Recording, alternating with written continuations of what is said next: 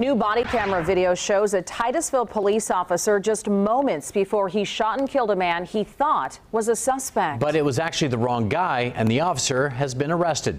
Fox 35's Alina Shirazi is live in Titusville tonight. So, Alina, you talked to both sides today, and what do they have to say? Yes, I did. And today, John and Lewin was the first day that the family saw the body camera footage. I actually got to speak with Lowery's sister. She tells us the video proves that her brother was unjustifiably killed.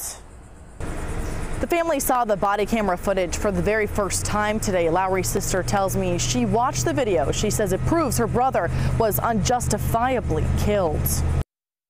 Westbound, black male, black jacket, jeans. Titusville police were on the way to a report of domestic violence the day after Christmas last year, but that officer is chasing after the wrong man. Stop running! Stop reaching your pocket! These are the tense moments leading up to 40 year old James Lowery getting shot in the back of the head. Body camera video released this morning shows Titusville police officer Joshua Payne get out of his car and chase Lowery, trying to stop him several times with a taser. Police say Lowery had drugs on him at the time. Get down! Get down! ladder! Get down! Lowery tried jumping over a fence. Payne followed, and that's when his gun went off. Shot fired!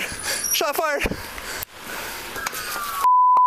Hey, listen, I need you to focus right now, okay, brother? Payne said it was an accident, but has been charged with manslaughter. When you are under extreme stress, how do you know what you're going to do? The chief says Payne should not have had his gun and taser out at the same time. If it's never happened before, you can train and say, I'm going to do this, I'm going to do this, and then something happens and your body can do something else. Lowery's sister, Johari Brown, says the video proves her brother was wrongly killed. It's taken way too long for what we already knew. And while they fought to see this final piece of evidence, Brown says her brother's gone and he's not coming back. He had a big heart and he would do anything for anyone.